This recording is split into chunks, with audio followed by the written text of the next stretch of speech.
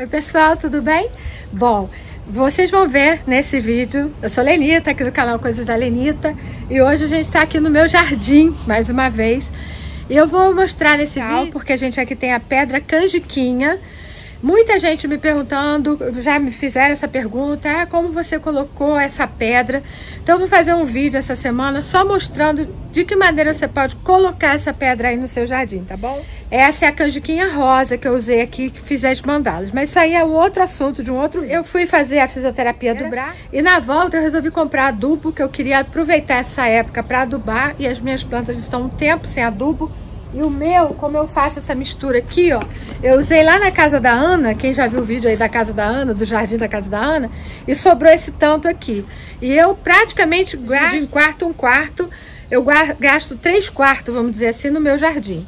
Então eu vou mostrar para vocês aqui o adubo que eu uso. Aqui tem farinha de osso também, mas eu costumo não comprar muito farinha de osso porque eu tenho cachorro. E cachorro fica futucando o jardim quando você põe farinha de osso. Mas aqui o cheiro tá forte até porque tá com farinha de osso aqui dentro. Dessa vez eu não comprei. Então como aqui ainda tem um pouco, vai incorporar. Isso aqui é aquelas vasilhas normais de sabão. Isso aqui é aquelas vasilhas normais de sabão em pó. Então você vai ver como eu faço a minha adubação e vou mostrar para vocês algumas plantinhas que eu comprei, que eu tô aqui no maior dúvida onde eu coloco. Queria fazer os arranjos, mas se não der nesse vídeo, fica pro próximo. Tem uma planta ali maior que eu vou ter que tirar com cavadeira e eu não sei se seria uma boa ideia hoje por questão do braço, que o fisioterapeuta pediu para eu pegar leve, que eu não andei pegando esses dias. Eu comecei... Olha, eu comprei essa aqui, que eu tinha a rosa dela, mas morreu. E tem a vermelha, que eu vou mostrar vocês onde tá. Então, eu tô na dúvida se eu planto ela ali no vaso ou no chão. Comprei essa aqui, que eu era louca por essa planta. Eu não acreditei quando eu vi. Olha que planta linda. Dá essa florzinha linda. O nome, gente, eu não sei. Eu não sei se veio o nome dela aqui, mas não veio. Eu sei que isso aqui dá um arbusto. Eu tô pensando, ou eu planto ali no vaso perto da piscina, tem até roupa na corda, como vocês estão vendo. Ou se eu planto aqui no lugar desse buchinho aqui, ó. Tirava esse buchinho e colocava aqui. Tô na dúvida também. E as outras plantas que eu comprei foram essas aqui, ó. Comprei essa aqui que eu achei bem linda. Comprei duas mudinhas. Foi R$2,90 cada uma. Essa aqui foi 49 e essa aqui foi 29.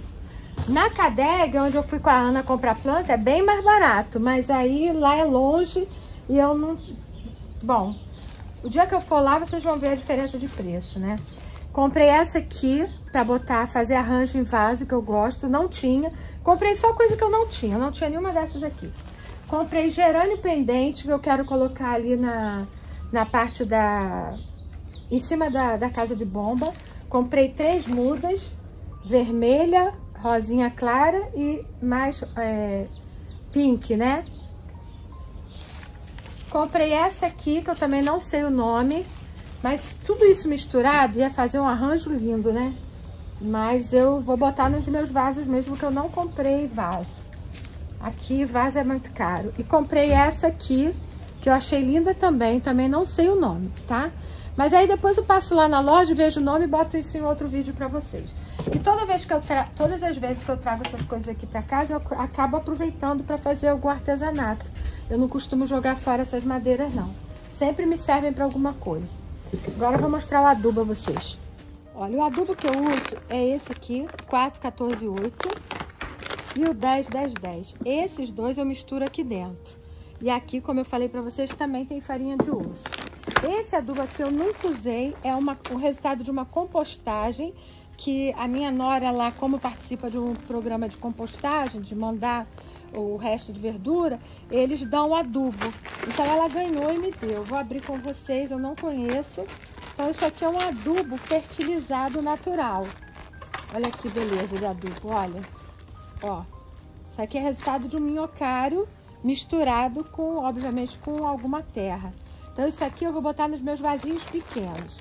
E a outra coisa que eu consegui fazer, porque essa semana eu esqueci, isso aqui é a água do cozimento de batata. Uma inscrita me falou que isso aqui é excelente para tomateiro. Esse é o resultado do cozimento de, uma, de batata aqui de casa. Tem 250 ml. Eu vou complementar com água é, essa quantidade aqui para não ficar tão puro assim. E vou botar nos tomateiros aqui, vou mostrar para vocês, tá? Então vamos lá, vamos começar esse plantio, vamos começar essa adubação. Vou começar a misturar isso aqui. Ah, além disso eu comprei esses ganchinhos porque isso aqui para mim é muito útil. Tava R$3,90 cada um, comprei três. E comprei uma tesoura que eu tava sem, que aqui tudo enferruja, gente. Perto de praia é um problema, né? Aí como é que eu faço? Eu vou jogando isso aqui nas plantas. Olha como ele vem. Ele vem com essa cumbuquinha aqui, que é a medida para você botar nos seus vasos. E ele vem assim, ó, esse granulado aqui, ó. Olha como ele é, ó. Ele é granulado. Aí você vai botar no vaso, mas não pode é, deixar ficar em cima da planta. Você tem que botar e molhar, tá? Ó, ele é assim, ó. E assim você tem que misturar.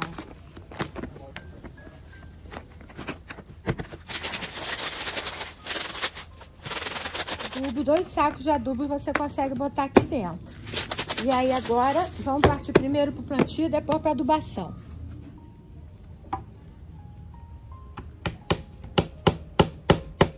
Bom, gente, eu tava um tempão para fazer um stencil nesse cachepô, que eu, é uma espécie de cachepô, vamos combinar, né? Eu tinha essas madeirinhas, juntei tudo uma época, foi até acho que no Natal do ano passado que eu fiz isso. E aí eu queria agora botar umas plantas nele, daí eu peguei uns brinquedinhos que Bento tinha de letrinhas e usei como carimbo para stencil. O problema é que o W ficou horroroso. Eu já tentei consertar, já até dei, dei até uma melhorada que não vai aparecer nesse vídeo. Mas a ideia é essa: você tem aí alguma letrinha, você dá uma carimbada. E eu queria escrever flowers. Eu não tinha preto, minha tinta preta acabou, tinha verde e fiz e eu gostei do resultado. Quer dizer, não ficou muito bom, não. Mas tá valendo. E sabe aquela coisa quando você vai consertar piora? Foi o que aconteceu aí. As outras letras estavam ótimas, só o W que ficou ruim. Aí quando eu fui consertar, piorou muito mais. Ó, acrescentei água.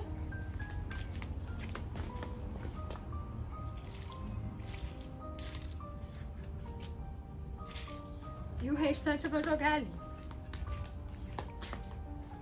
Aqui atrás tem vários tomateiros. Então eu vou jogar aqui Vamos ver se vai surtir efeito. Aí eu vou mostrando para vocês.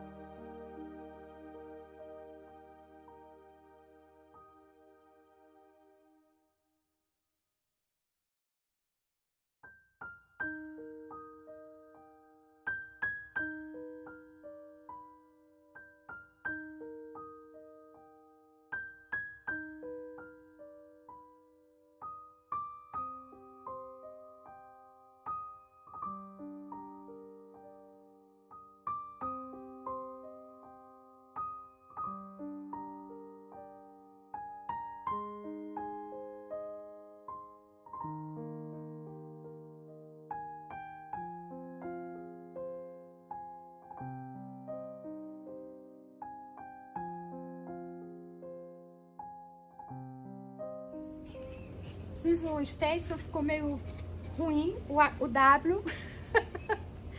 e aqui, ó, eu fiz os vasinhos eu tô botando vasinhos embaixo para dar altura. Então eu fiz esses três com o gerânio que eu comprei agora e esse aqui era com uma planta que eu já tinha aqui.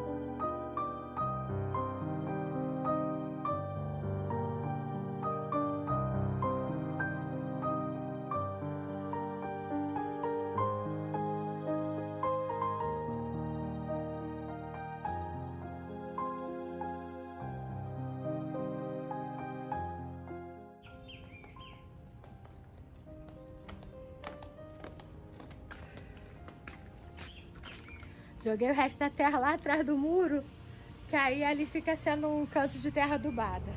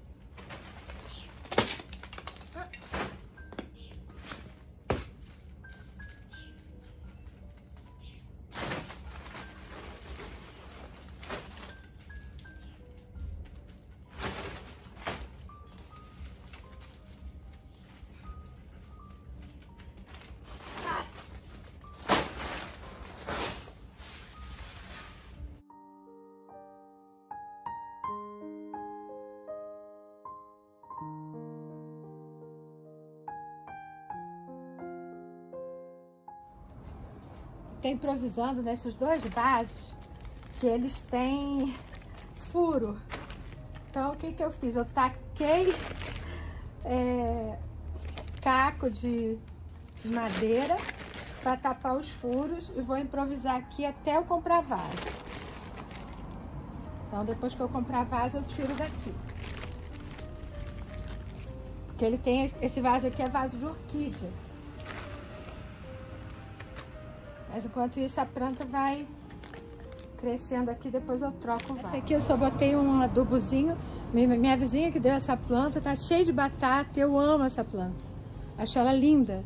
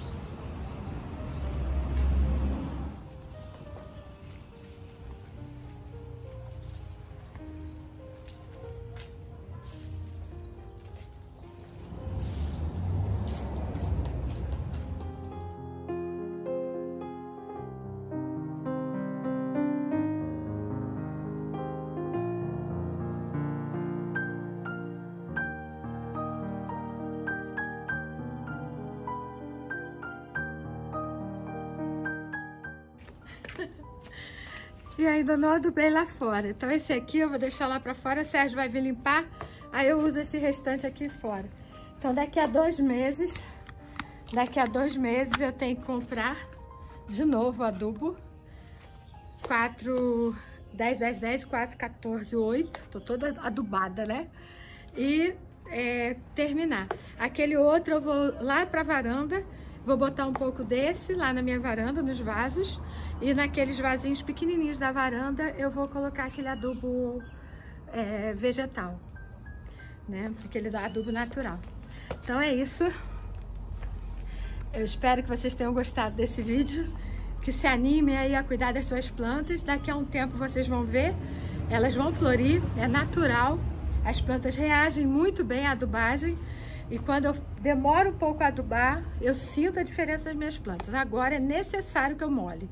Então, terminou a adubação, você tem que molhar todas as suas plantas. Não pode deixar de molhar, porque você não pode ter deixado adubo nas folhas, senão queima as folhas.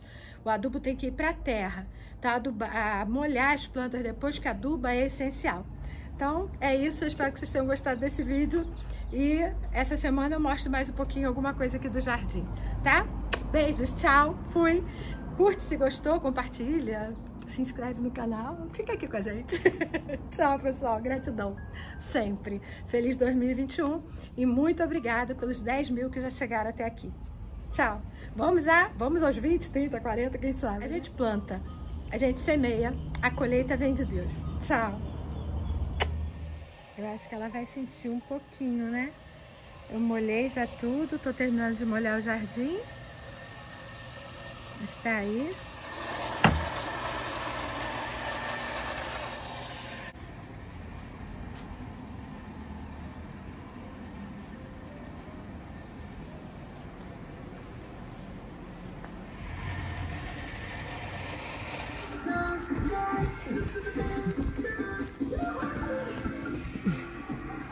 Ele falou pra dançar, então eu vou dançar. Ah, seu sofá.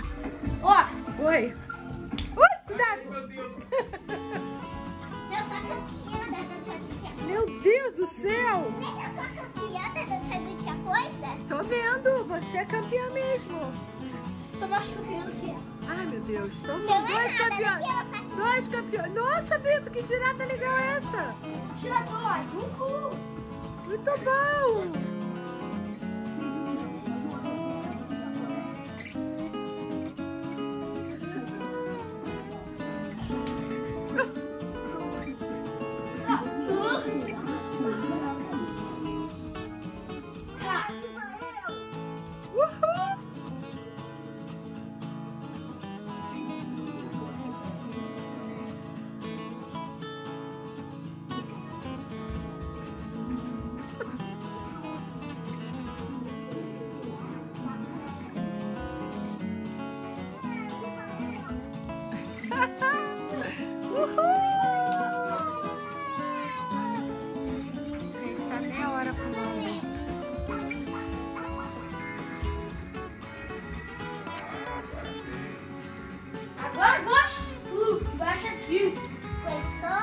Bento, vovô vai rezar. É, eu também.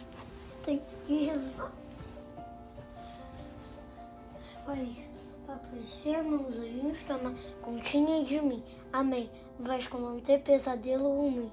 Nem sonho ruim para na casa, nem o sonho ruim, nem o sonho deve ligar. Amém. Vasco. Que